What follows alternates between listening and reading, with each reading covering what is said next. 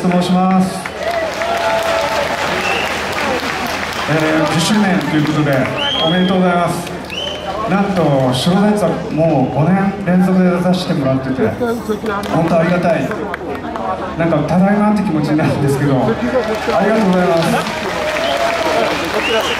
中洲ジャズ本当ね僕も大好きなイベントで毎年ここにね今年も呼んでもらえたらと思って来るのすごく楽しみにしてたんですけどね。あの本当まだ10周年だったんですね。もっともっと長く続けてもらって、ね、だってただでみんなライブ見れるわけじゃないですか。ねただより高いものはないってそればっかり言ってますね本当でも白田ヘッズに優しい街は本当福岡ぐらいですよ。俺嬉しくて。あの引っ越そうかなってよく言うんですよ。大好きなんですよね。ありがとうございます。まあそう。ちょっと前宣伝したもんって言われたんですけど中洲ジャズのこのリストバンドがあの買えるんですかね。10周年。中洲ジャズってあの買えますんで。まあねただでいいライブ見れたらなんかちょっと思い出にどうですか。これ職場につけてったらもうモテモテですよ。おしゃれジャズとか聴くですか？みたいな あのね。まああのよかったら帰りにね。買ってください。ということであの今年もよろしくお願いします。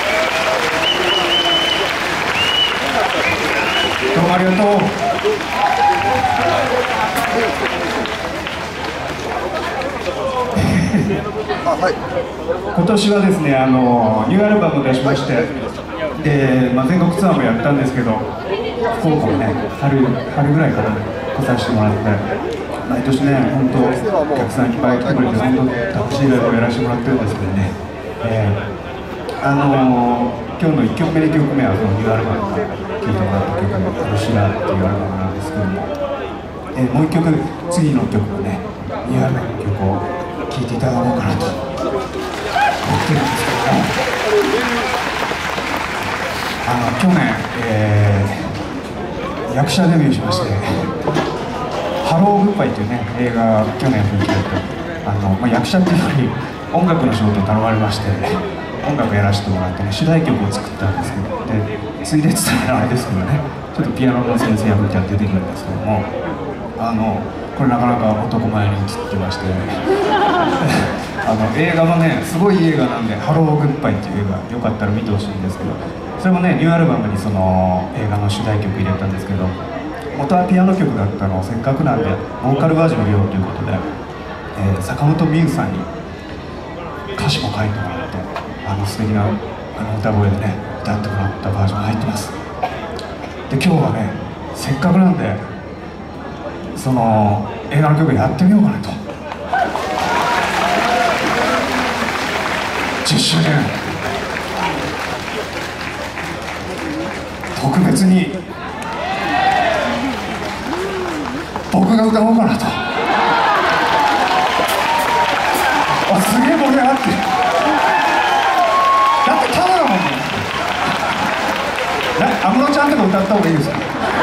それも歌いたかったんですけどやっぱりせっかくなんで自分の曲をあのーハローグッバイの主題曲の「え手紙が届けてくれたもの」っていう曲を聴いてください。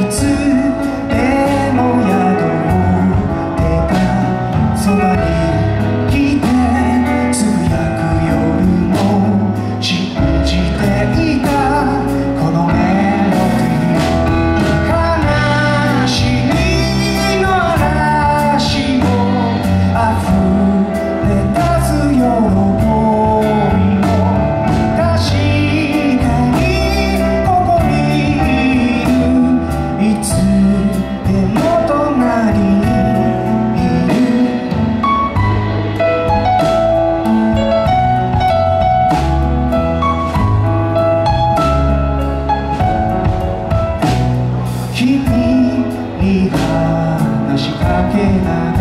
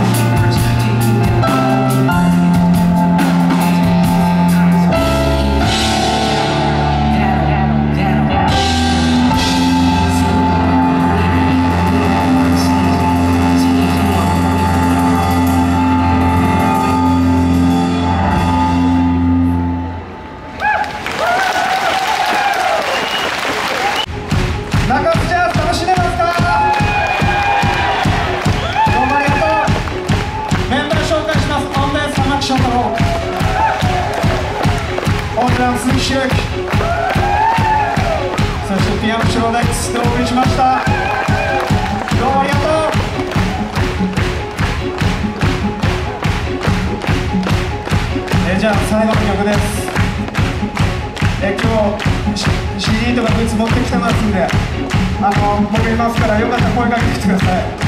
喜んでサインします。ありがとうございました。